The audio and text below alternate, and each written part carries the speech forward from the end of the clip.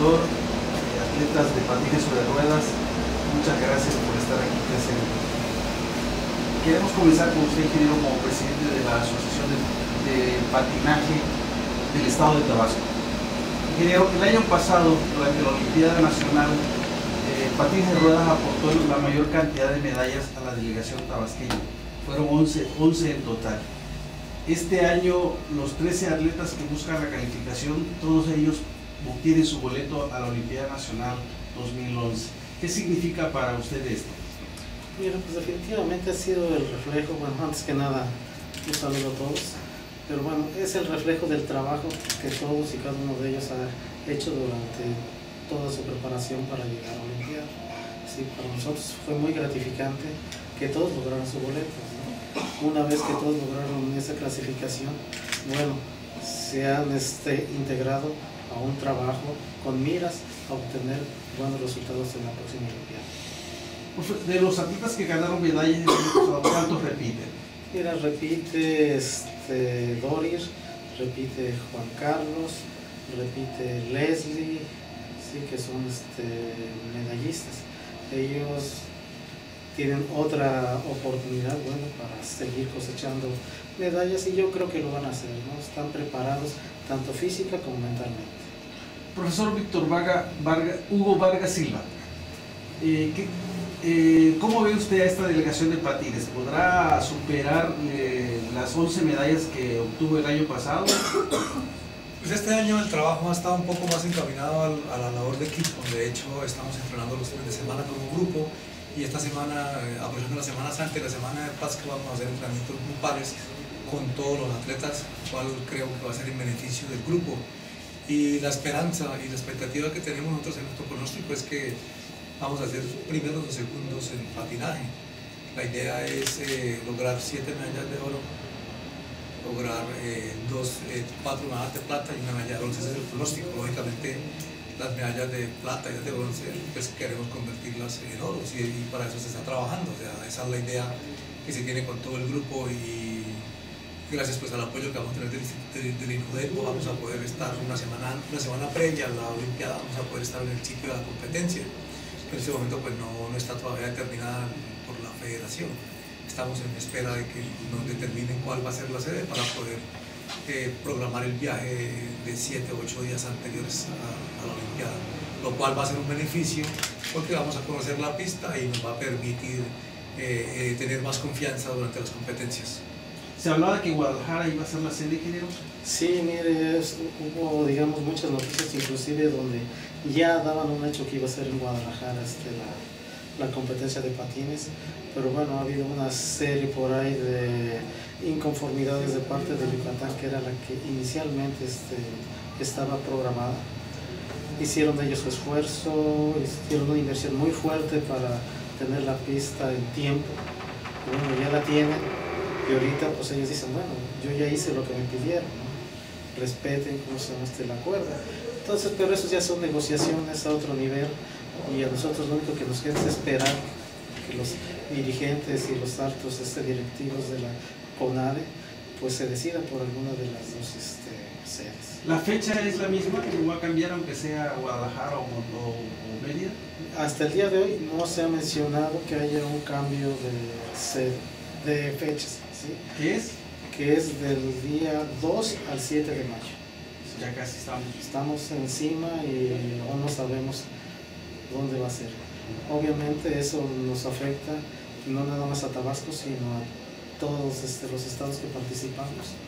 Y estamos en espera, en cuanto tengamos nosotros ya definida la sede, bueno, empezar a rehacer la logística y todo lo programado con los profesores para este, tratar de llegar lo mejor posible. Bien. Doris del Moral Rosique, el año pasado ganaste dos medallas de oro y una de bronce. Este año, ¿cómo te sientes? ¿Cómo pues, te sientes para esta competencia? Pues muy motivada, en buen estado físico, digo que me he preparado muy bien y pues sí, por mi parte quiero mejorar esas, en lugar de que sean dos de oro, que sean las tres y pues con todas las ganas posibles. ¿Cómo te sientes en tus entrenamientos en estos últimos días que has estado bajo las órdenes del maestro eh, Víctor Hugo? Pues me ha ayudado mucho, pues me ha enseñado cosas nuevas, he mejorado algunas cosas y también pues me he subido un poco de nivel más del que tengo. Juan Carlos Ortiz Caña, tú ganaste una medalla de, de plata eh, durante la Olimpiada Nacional 2010. Para la Olimpiada Nacional 2011, ¿cómo estás? ¿Cómo te sientes? Me siento bastante fuerte, tengo confianza en mí mismo y estoy preparado física y mentalmente. Y pues el resultado que yo espero es, es ganar el mayor número de medallas posibles, que serían de oro. ¿Y cuántas, si se puede saber, te has propuesto? ¿Cuántas medallas? Pues las cuatro pruebas individuales por cuatro serían. ¿Tú, Doris, en cuántas pruebas vas a competir? Yo pensé que en, todas, pues, pero pensé que eran tres. Son maratón. ¿Cuántas pruebas? Son cuatro, pero maratón, pues no, no soy bondista. Es lo mismo, esta pregunta va para los dos, si es en Guadalajara o en Yucatán o Mérida, ¿será la misma situación para ustedes, tanto por el clima, por, por las circunstancias de las ciudades? ¿Competir en una con en otra o en otra es para ustedes lo mismo? Yo digo que en Yucatán nos beneficiaría más por el calor y el, el ambiente, ¿no? ¿Estás de acuerdo, Carlos? Pues sí. Profe, eh, eh, ¿cómo va eh, la preparación de esos atletas? ¿Están recibiendo de parte del instituto el fogueo necesario para llegar a enfrentar a los rivales de una manera adecuada en esta Olimpiada, profe? básicamente, la, prueba que hicimos fue, o sea, el, anterior que fue clasificatorio, que es el que llaman tres opciones, fue el torneo donde se, vimos los parámetros que teníamos para este evento. Y en base a eso, pues se hicieron algunas modificaciones al plan de entrenamiento durante los últimos dos meses. Y creo que eso va a ser el reflejo que vamos a tener en, la Olimpiada. Y creo que los resultados que se van a tener van a ser los, los mejores y, creo que todos pues estamos en la misma función. El instituto de alguna forma está apoyando económicamente, logísticamente, la asociación pues hace, hace su labor administrativa y nosotros pues como entrenadores hacemos nuestra labor como de los planes de entrenamiento y los atletas lógicamente están también haciendo su mayor esfuerzo.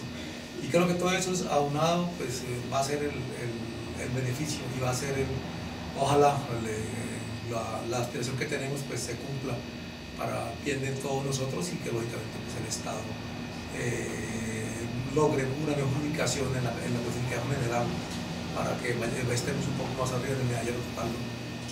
Ingeniero, pues aprovechando que maestro toca ese tema de la posición que tiene Tabasco a nivel nacional, es el número 31 de 36 posibles. ¿Cómo ve en términos generales la delegación de Tabasco que va a participar en esta Olimpiada Nacional?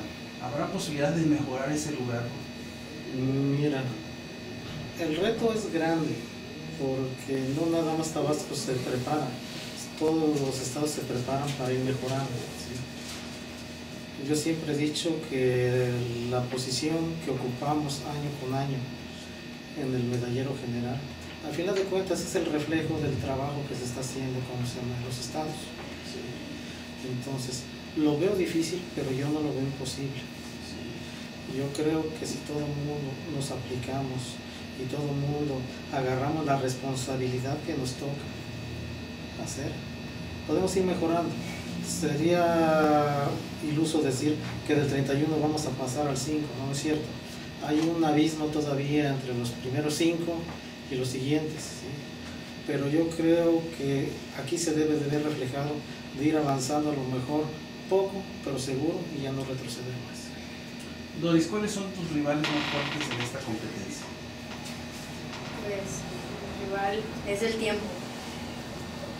Quiero vencer las marcas porque pues no nada más son con las de mi categoría que compito, sino que si quiero lograr algo más, tengo que darme con las mejores, con las más grandes. Y para yo poder superarme, tengo que ganar esos tiempos, no nada más los, ganarle a mis rivales de mi categoría, sino ir más allá. Juan Carlos, para ti, ¿quién es el deportista al cual le tienes que ganar?